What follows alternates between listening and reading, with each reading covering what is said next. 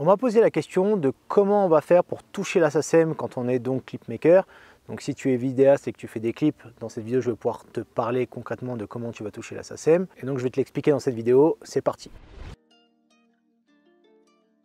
Alors avant de commencer cette vidéo, j'aimerais t'expliquer concrètement qu'est-ce que c'est la SACEM pour toi qui débute et donc qui commence à faire des clips sûrement te poser la question, tu as dû déjà en entendre parler, certains artistes te parlent un petit peu de la SACEM, et donc tu te demandes ce que c'est exactement. Alors en fait la SACEM, en gros, ce que c'est, c'est que c'est comme des royalties, donc la plupart du temps, c'est les artistes euh, bah voilà, qui sont assez connus, euh, que ça va être des artistes, il va y avoir donc euh, des producteurs, il va y avoir toutes sortes de, personnes qui travaillent dans le milieu de la musique qui vont toucher en fait la SACEM, donc en fait c'est vraiment des royalties que tu as à l'année, et donc en tant que réalisateur de clips, eh ben, ce qu'il faut savoir c'est que tu peux aussi avoir la SACEM puisque moi, par exemple, ça fait des années que je l'ai, que je la touche encore.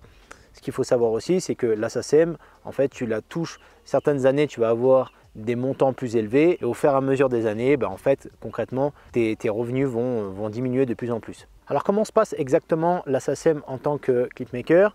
Ben, En fait, concrètement, ce qui va se passer, c'est que pour pouvoir créer ta SACEM en tant que réal, il va falloir déjà que tu t'inscrives donc à la SACEM. Tu pourras regarder directement dans le lien en dessous, je t'ai mis directement donc, le lien pour pouvoir t'inscrire. Donc tu pourras le faire soit en ligne, soit bah, par courrier. Tu vas voir que c'est assez facile, tu as une adhésion que tu dois payer. Pas très cher, mais en, tout cas, voilà, comme ça au moins tu as ta carte d'adhérent de la SACEM. Et en gros, ce qui va se passer, c'est qu'en fait, à chaque fois que tu vas faire des clips, eh ben, en fait, tu vas devoir toi-même les, déclarer, donc soit sur une feuille que tu enverras directement à la SACEM. Ce qu'il faut faire, c'est qu'il faut appeler la SACEM et leur demander plusieurs feuilles qu'ils vont t'envoyer. Tu peux aussi le faire en ligne, il faut, que tu prennes le temps de regarder directement. Moi, je ne l'ai jamais trop fait en ligne, je le fais plutôt directement avec euh, bah un papier en fait qui est, qui est assez facile, euh, où tu vas remplir euh, plusieurs choses, tu vas mettre ton nom, ton prénom.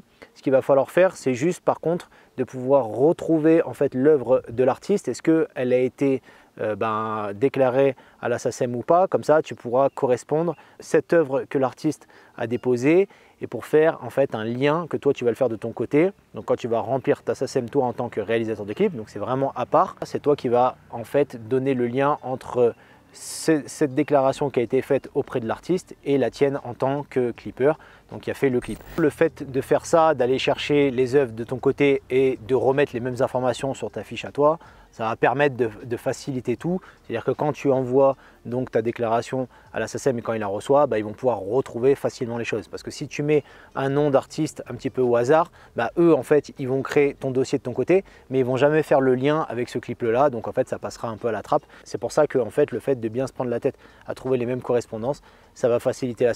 Vu qu'ils en reçoivent un paquet par jour, ils vont pas trop se prendre la tête sur ton dossier. Donc si tu leur facilites pas, ça va être compliqué. Donc je vais te montrer directement comment on va remplir la fiche. Tu vas voir c'est très facile. Donc une fois que tu as la feuille comme ça, tu vas pouvoir donc écrire ici le titre de l'œuvre directement. Donc là, le nom de l'auteur et du compositeur.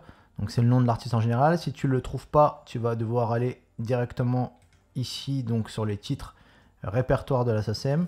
Donc là, par exemple, tu vas écrire euh, un artiste, tu vas mettre, et donc à partir de ce moment-là, c'est là où tu vas pouvoir voir est-ce qu'il existe euh, ou pas et donc récupérer euh, quelques infos pour pouvoir voir les vrais noms que tu vas pouvoir écrire ici parce que des fois les artistes c'est leur prénom et leur vrai nom euh, et il y en a certains où c'est euh, le nom de l'artiste. Donc du coup tu vas écrire ça. Ici tu vas sélectionner donc télévision et autres. Ok. Là la durée du clip, la date de première diffusion tu regarderas sur YouTube quand il a été uploadé. Donc là diffuseur producteur tu n'as pas besoin de l'écrire. Donc ici tu vas mettre ton nom à toi et ton prénom. Là, tu vas mettre à 100% si tu es tout seul. S'il y a un autre réel ou autre, bah, c'est pareil, mais là, en général, tu as juste à noter ça. Euh, ensuite, ici, donc, euh, tu as juste à signer, écrire euh, là où tu as fait et la date. Alors, ce qu'il faut avoir juste, c'est par, par exemple, si tu as un clip qui est en maison de disque, il faut donner les, contrats avec. Donc voilà, si tu as le contrat donc, où tu as pu faire avec ta boîte de production avec la maison de disque, si t'ont donné un contrat, donc logiquement ils, ils en donnent, tu envoies le contrat avec ce papier-là aussi. Donc voilà, copie des contrats. Donc ça, c'est un, papier que tu dois imprimer et que tu envoies directement à la SACEM, donc à l'adresse, euh, quand tu regarderas sur Google, tu as une adresse qui est à Paris. Et donc voilà, c'est assez facile. Au niveau des chiffres de la SACEM, alors au niveau des chiffres, je ne pourrais pas te donner des chiffres bien concrets parce qu'en fait, c'est assez difficile de comprendre comment marchent les calculs de SACEM. C'est-à-dire que même quand tu poses des questions, euh, bah, par exemple quand tu appelles la SACEM qui est à Paris et que tu leur poses un petit peu la, question, c'est-à-dire ceux qui s'occupent euh, du pôle euh, pour les réalisateurs de clips, même eux, ils n'arrivent pas trop à t'expliquer concrètement les calculs parce que c'est des calculs un petit peu complexes, eux de leur côté. Donc niveau chiffre, je pourrais jamais vraiment t'en parler.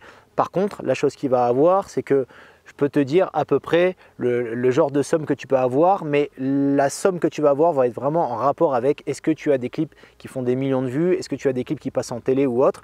D'ailleurs, maintenant, les clips qui font des millions de vues, bah, tu toucheras des rémunérations plus importantes que celles qui sont en télé. Après, tout dépend de certaines chaînes, évidemment.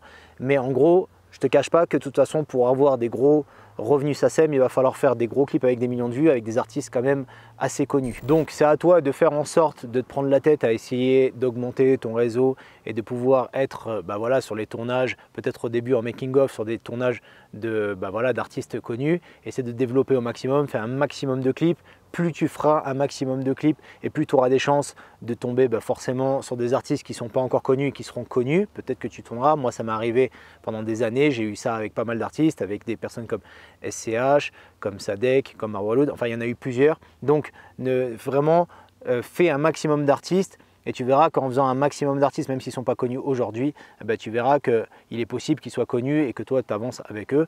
Donc c'est comme ça que tu vas réussir à en avoir. La boîte de prod, par exemple, Demolition, c'est comme ça qu'ils ont fait.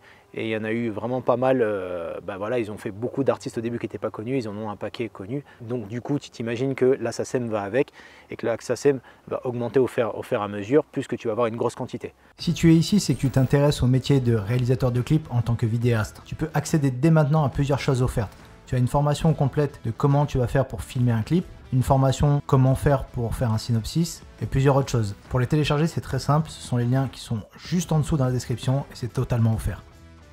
Donc en gros, si tu veux vraiment avoir une bonne SACEM, ça peut aller de 5 000 à 10 000 et jusqu'à 50 000 et, d'autres chiffres par an. Tu vas avoir quatre rémunérations dans l'année. Donc en général, c'est le 5 janvier, le 5 avril, le 5 juillet et le 5 octobre. Donc tu en as quatre dans l'année. Une fois que tu es enregistré, bah, tu commenceras à recevoir donc bah, tes paiements de SACEM. Alors, ce qui arrive souvent, c'est qu'en début d'année, les paiements sont plus petits et en général, c'est plus vers juillet, octobre qui sont, qui sont plus gros. C'est toujours une surprise de savoir combien tu vas être payé parce que tu ne sais pas vraiment combien tu vas être payé. C'est toujours un peu la surprise. Mais comme je te dis encore une fois, des fois tu peux vraiment avoir des chiffres qui sont très bas euh, par an et puis des fois tu peux avoir des surprises, tu peux avoir des chiffres qui sont très hauts. Mais tout ça va être vraiment en rapport avec est-ce que tu as fait des clips qui sont tendance euh, en ce moment ou pas? Est-ce qu'ils ont fait des millions de vues? Et, à partir de ce moment-là, si tu sais que tu vas faire des clips qui vont faire des millions de vues et qui sont tendance et qui sont de maintenant, bah forcément tu auras une bonne SACEM si tu as réalisé le clip. Alors, ce qu'il faut vraiment savoir, c'est qu'il ne faut pas que tu te bases que sur ça, parce que j'entends beaucoup de, clipmakers qui me parlent de la SACEM et ils se disent que voilà, ils vont faire des salaires avec la SACEM.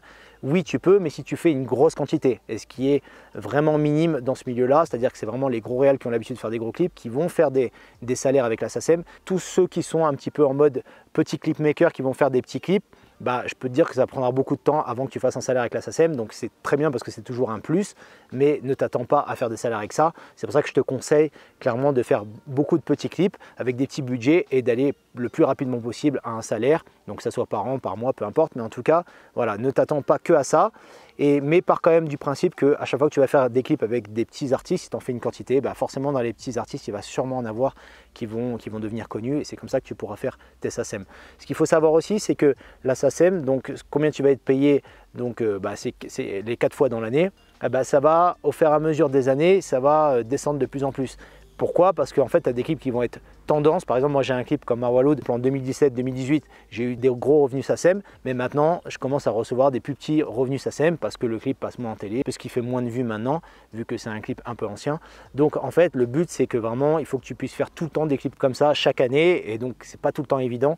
Donc voilà, donc c'est assez normal que tu reçois pendant un an, deux ans ou trois ans des gros revenus SACEM, et au fur et à mesure des années, eh ben, ça redescend.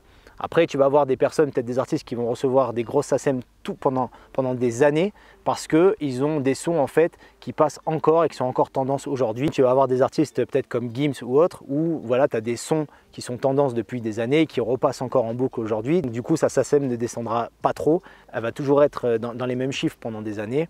Donc tu vois un petit peu le principe, c'est un petit peu ça. Donc voilà, donc c'est la vidéo pour t'expliquer un petit peu tout ça vu qu'on m'a posé la question. Tu peux regarder les vidéos qui sont juste en dessous si tu veux t'abonner. Donc si tu es nouveau et que tu viens de découvrir la chaîne, bah, n'hésite pas à t'abonner. Et donc je te dis à très bientôt pour la prochaine vidéo.